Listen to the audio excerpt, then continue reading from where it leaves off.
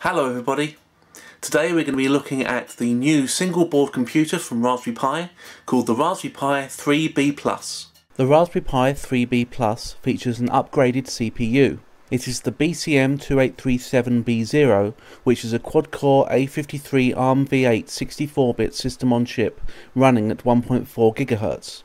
It features the same memory, 1GB of SD RAM, and it has a new Wi-Fi chip on board which gives you access to both 2.4 GHz and 5 GHz Wi-Fi networks. The Wi-Fi antenna technology has also changed on the Pi 3B Plus.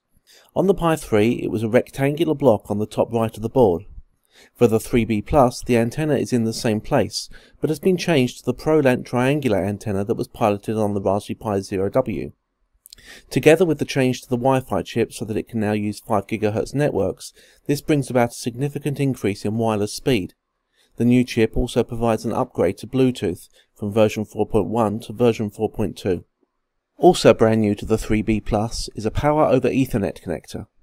There will be a new hat released by Raspberry Pi in the next few weeks which will give you the ability to plug in a PoE enabled Ethernet cable to power the Pi. In my benchmarking tests, which you can read more about on the accompanying blog post, the Pi 3B Plus was about 15 to 20% faster, in line with the CPU speed increasing from 1.2 GHz to 1.4. Thanks to the new heat spreader metal plate on the top of the CPU, thermal performance is also improved, with fewer instances of the temperature icon appearing on the Pi desktop.